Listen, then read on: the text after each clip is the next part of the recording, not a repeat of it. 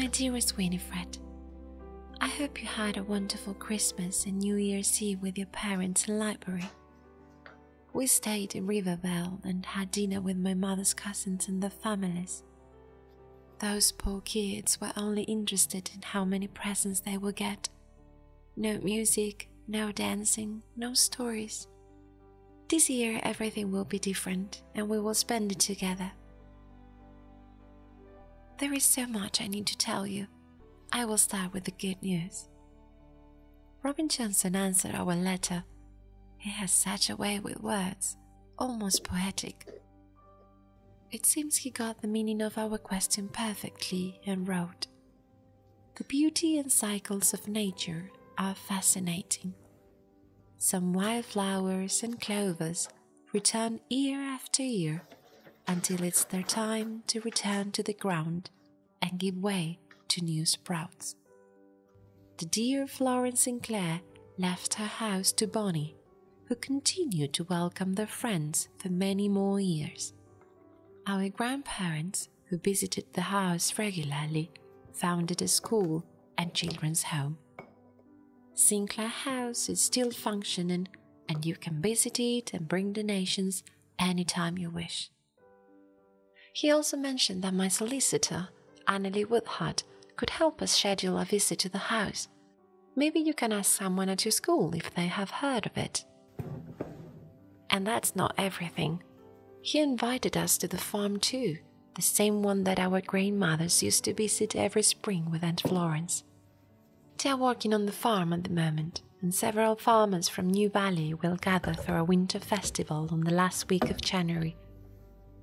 He said he will let us know the date soon. I really wanted to move to Bermothill this winter, but going through my employment contract, I found out that I need to work three more months after I quit. I tried to talk to my parents, but they won't allow me to leave earlier than that, so I'm afraid I will have to move next spring. In the meantime, I will visit you as many times as I can to enjoy the coziness of your home and your delicious food, and to help you plan your school activities, of course. I look forward to hearing from you soon. With love, Chloe.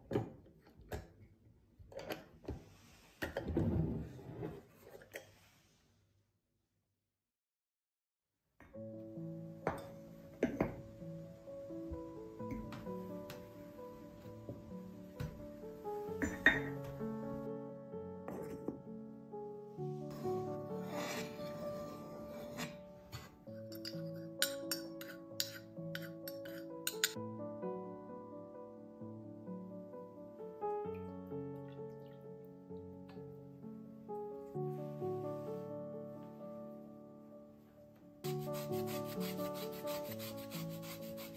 you.